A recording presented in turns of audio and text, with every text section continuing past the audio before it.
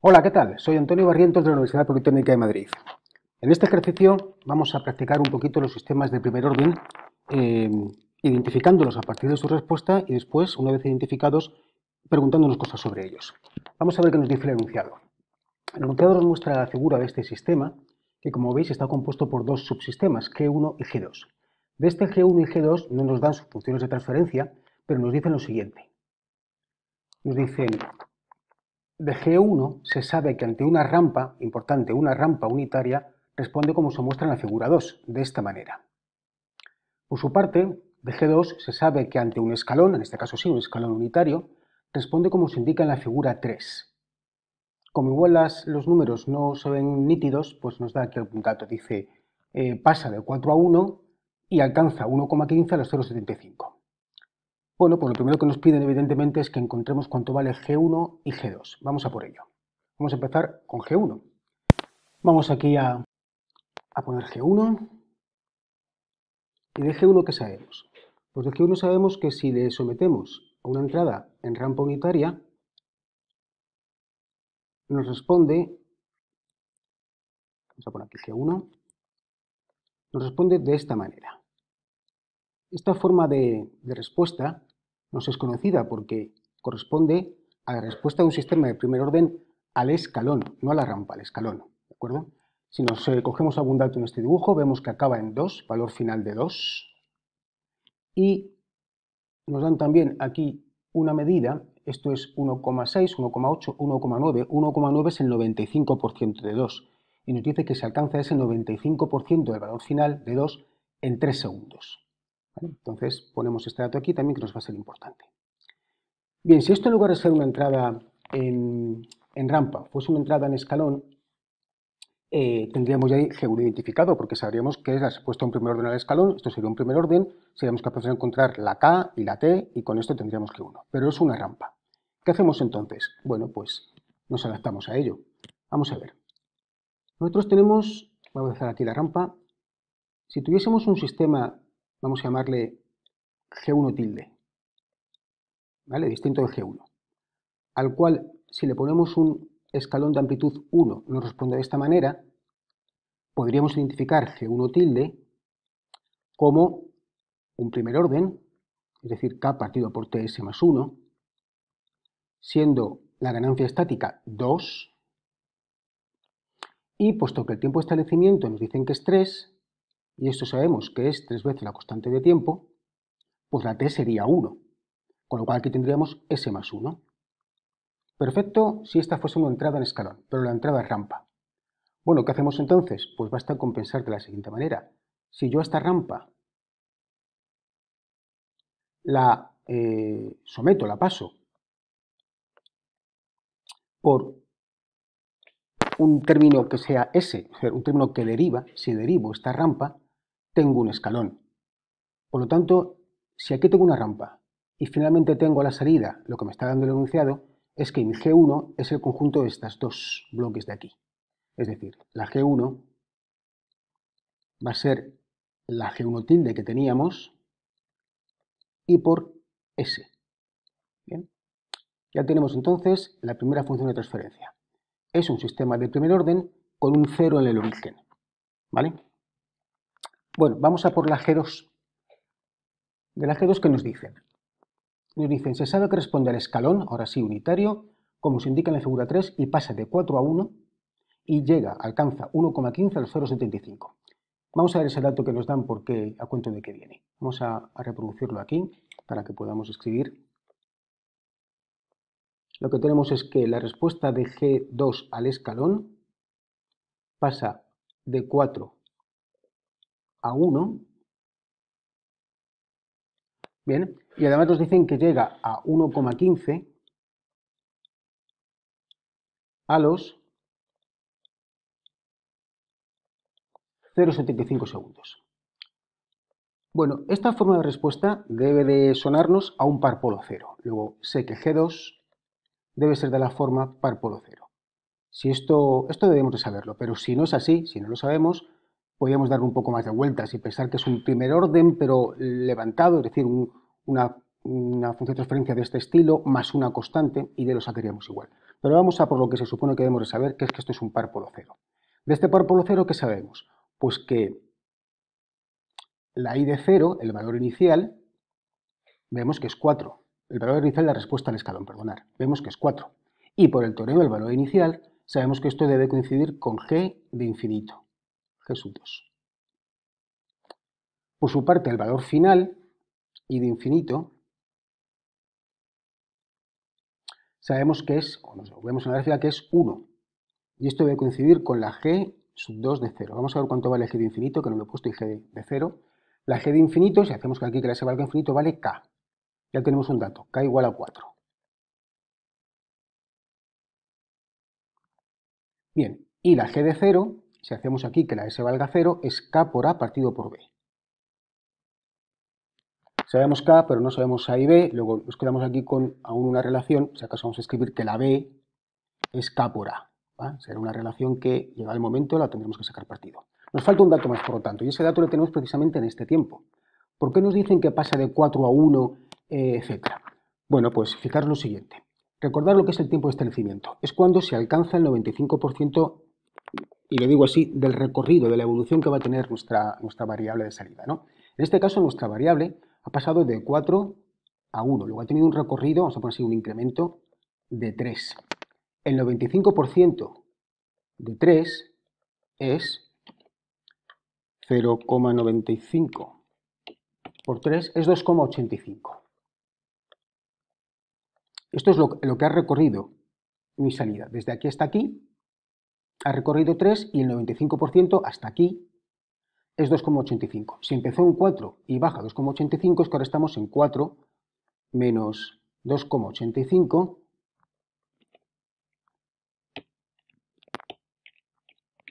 1,15. Y eso es precisamente el dato que nos están dando. Nos dicen que alcanza 1,15 a 0,75. Luego nos está diciendo que en 0,75 alcanza o recorre el 95% de su recorrido. Por lo tanto, T su S es 0,75. Y como se trata de un primer orden, esto es 3T, o si queréis, recordad que aquí el polo es B, 3 partido por B. Por lo tanto, de aquí es lo que tenemos es que si eh, eh, la T es 0,25, la B es 4.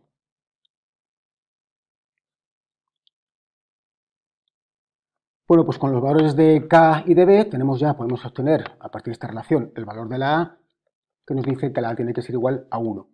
Ya tenemos, por lo tanto, todos los datos para identificar la G2,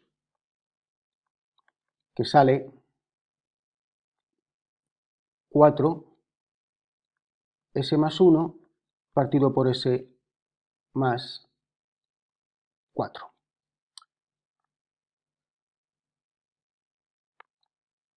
Bien, pues eh, primer apartado, ¿vale? Quería encontrar los valores de G1 y G2.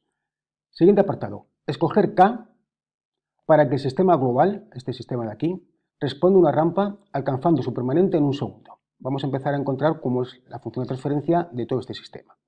La función de transferencia vamos a llamarla MDS y tendrá por expresión G1 por, la,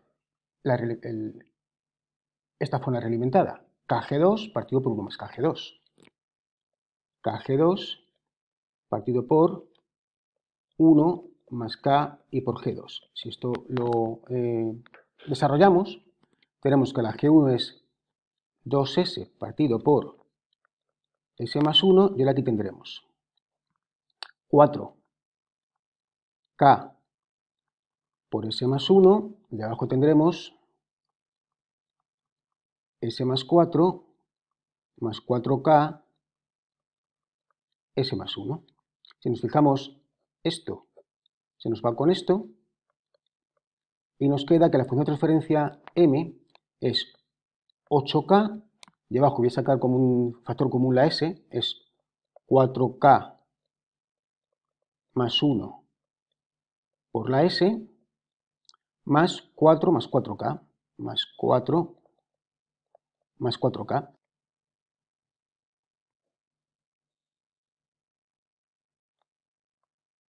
Esto es un primer orden con una ganancia estática que si hace falta la calcularemos y con una constante de tiempo. Vamos a ver lo que nos preguntaban. Nos preguntaban que seleccionemos K para que responda una rampa alcanzando su primer orden, eh, perdón, su orden permanente en un segundo. Y ojo, que he dicho una cosa y no me he dado cuenta de un detalle.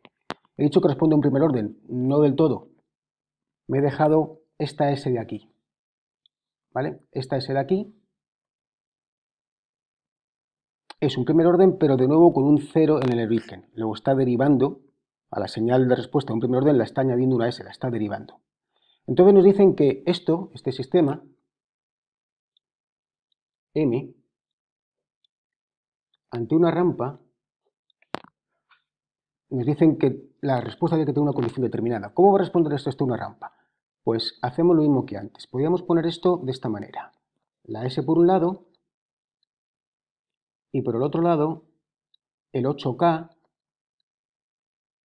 partido por 4K más 1 y por S y más 4 más 4K. Si aquí pongo la rampa y la derivo, tengo un escalón. Y ya perfecto, porque tengo un primer orden que responde al escalón y sé que responde así. ¿Qué me dicen? Este es el conjunto que me, del que me están hablando. Todo esto es la M. ¿Qué me están pidiendo? Que escojamos K para que se alcance el permanente ante entrada en rampa en un segundo. Es decir, que escojamos K para que este tiempo de aquí sea un segundo. Este tiempo de aquí, como bien sabemos, es el tiempo de establecimiento, que equivale a 3t. ¿Cuánto vale la t de este bloque de aquí, que es el que sé que ante un escalón responde de esta manera? Pues la t vale 4k más 1 partido por, estoy dividiendo todo por 4 más 4k, por 4 más 4k. Si quiero que esto valga, como esto quiero que sea eh, un segundo, quiero que la t sea igual a un tercio, Esto me lleva a la condición de que 12k más 3 es igual a 4 más 4k, 8k igual a 1, k igual a 1 octavo.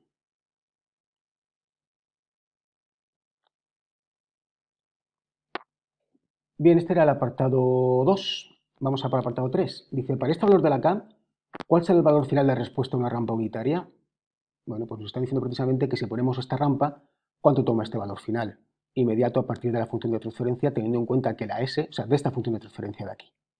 ¿Vale? Hemos puesto una rampa que tenemos un escalón. Si ponemos un escalón, el valor final va a ser, por donde pone K ponemos un octavo, y nos queda arriba, bueno, la ganancia estática de esta, eh, vamos a llamarle a esta M tilde, y así ¿eh?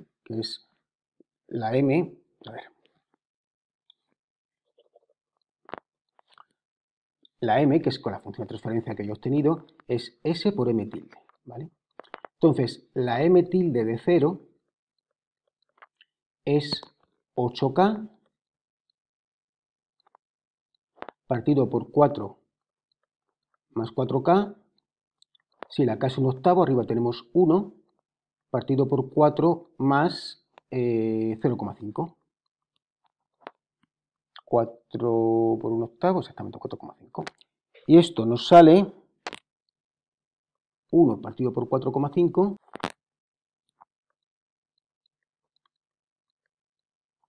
Esta es la pregunta que nos hacían en este apartado.